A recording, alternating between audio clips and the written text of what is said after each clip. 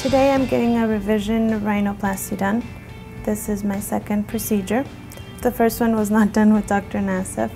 I waited for the swelling to go down.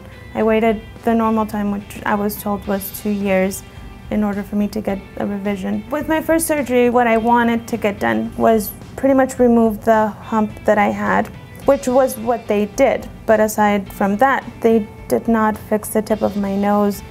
And now that this, after the swelling went down and I waited for the time, I noticed that my sides were not angled equally. One of the sides was actually more elevated than the other one. When I met Karla, she already had one rhinoplasty in 2007. She was unhappy with her profile, the way it looked. She was unhappy with the fullness in her tip. And she also felt that the right side of her nose along the right nasal wall was wide.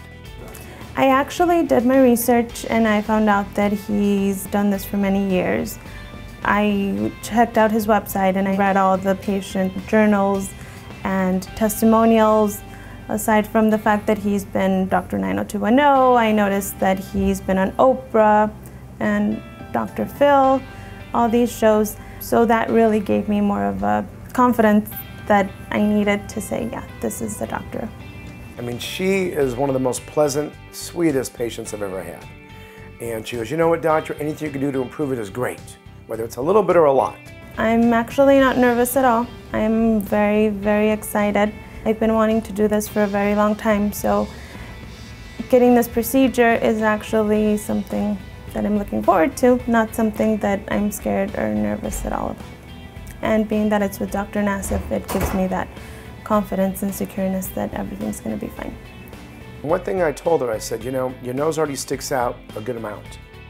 So from the profile, I told her that the, if the more I bring it out, project it, the better her tip will look. I pretty much feel that the, the surgery will help me have a better appearance, have a more feminine nose per se, because I feel like I, I'm missing that little touch. I am a confident girl, but that would just help me a little more.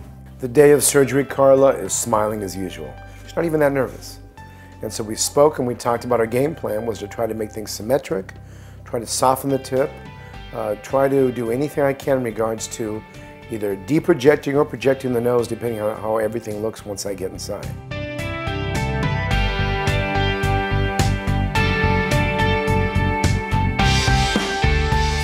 So once we were ready, we went in the operating room and the initial procedure that I performed was the cartilage harvest from the septum, but she also had a deviated septum that I took care of.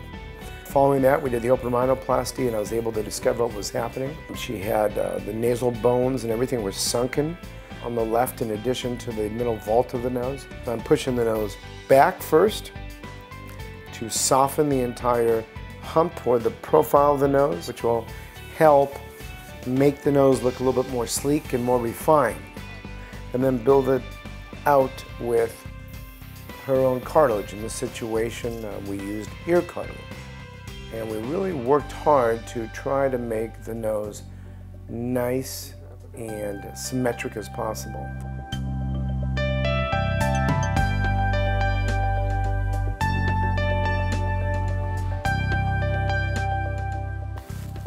Karla. Today I saw Karla.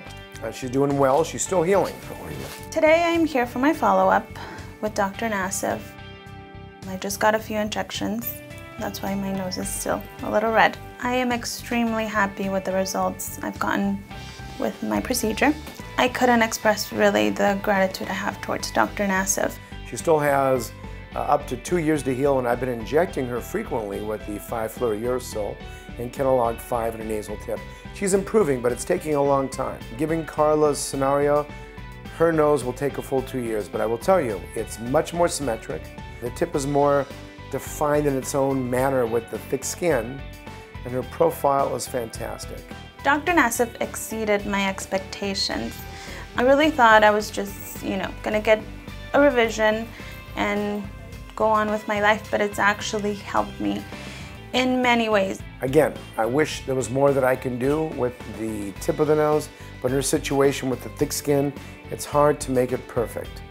And I think as time goes on, she'll be more and more happy. And by the way, from day one when I met her to now, she is so happy all the time. What a wonderful spirit she has. She's great. I'm really grateful for Dr. Nassif. The feeling that I have towards him is actually of a sense of extreme gratitude. The surgery has changed my life in a way that now I'm happier with my appearance. I'm I can take pictures really. I don't have to be like trying to hide my my profile or not focus on my nose and actually be happy with who I am.